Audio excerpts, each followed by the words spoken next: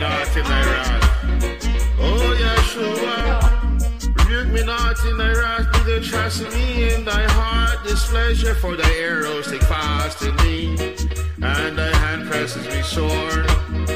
There is no soundness in my flesh, because I anger, neither is any rest in my bones, because of my sin.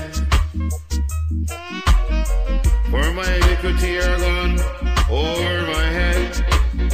As a heavy burden, they are too heavy for me.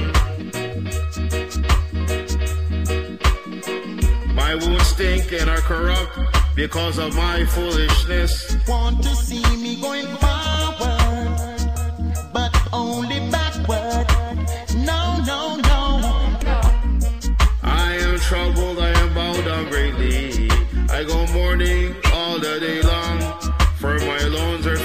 Disease. There is no soundness in my flesh.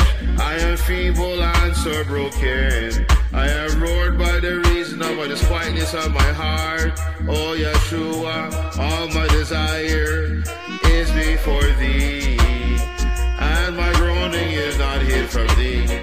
My heart panteth, my strength faileth me. For the light of my eyes, it's also gone from me.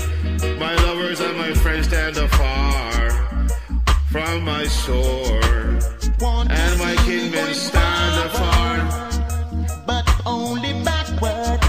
No, no, no.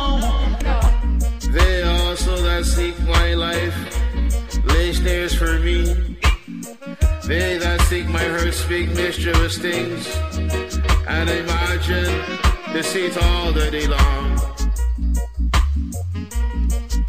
But I, as a deaf man, heard not, and I was as a dumb man that opened not his mouth. Thus was I